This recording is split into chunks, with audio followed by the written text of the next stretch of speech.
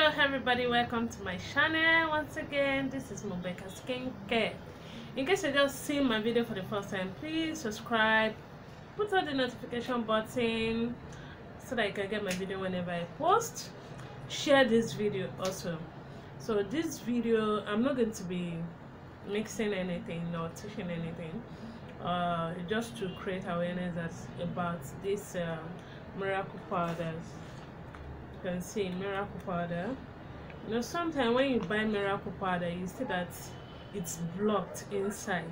You feel like okay it's not really working it's not going to give you what you want. No. It's going to give you what you want. See this is what i always do whenever i notice that okay the miracle powder is blocked. What i do for example look at this one.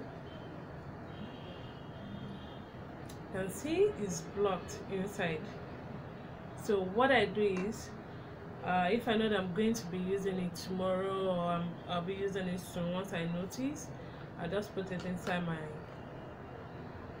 container and just get a small bottle. So then what i do is maybe i'll just get a very clean water or i will use my rose water mostly. So i just add my rose water into it see? So I'll add my rose water into it and I will leave it for some days maybe the next day the third day depending on how thick it is. So you are good to go. So it's not necessarily that okay if it comes in block like that it's no longer working or anything. No it's still very useful. So you can see i'll just cover it I'll leave it. It's going to melt it. You can use water a very clean water. You can just make the water a bit warm then add it into it and you leave it. If you know that yes you want to use it the next day or the third day so just soak it with your warm water. You're good to go. That is it.